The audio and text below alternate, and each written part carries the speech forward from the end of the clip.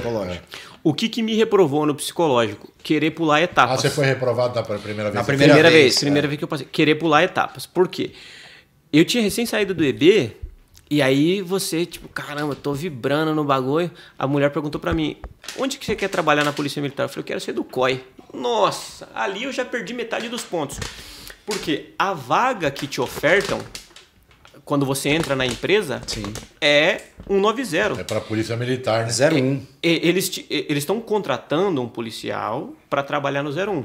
Então, você tem que se preparar para essa entrevista no sentido de fazer o psicólogo entender, caramba, por que, que eu não contratei esse cara antes? Ele tem que ver que as suas qualidades enquanto pessoa, elas são é, semelhantes ao que a polícia desenvolve. Sim.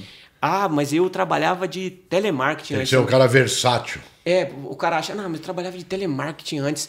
Eu vou Clínico dar um, geral. É, eu vou dar, vou dar um, vou dar um migué aqui que eu sou, que eu sou, que eu sou bravo e não sei o quê, porque eu preciso ser bravo. Não, pô. Você não vai ter cancha, você não vai ter papo pra você trocar. Sim. Pra, se você quiser é, é, colocar um personagem lá.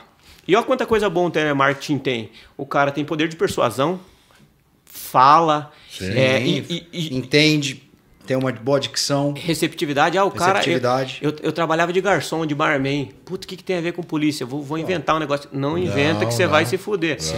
É, olha quanta coisa boa. Atendimento ao público, você acaba sendo um cara dinâmico, um cara prestativo. E assim, esse tipo de coisa é, é- é basicamente o trampo da polícia militar.